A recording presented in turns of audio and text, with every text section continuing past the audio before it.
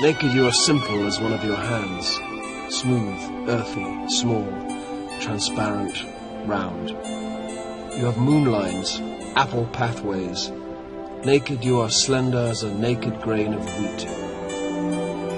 Naked you are blue as a night in Cuba.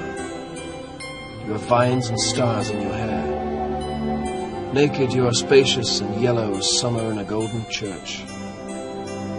Naked you are tiny as one of your nails, curved, subtle, rosy, till the day is born and you withdraw to the underground world.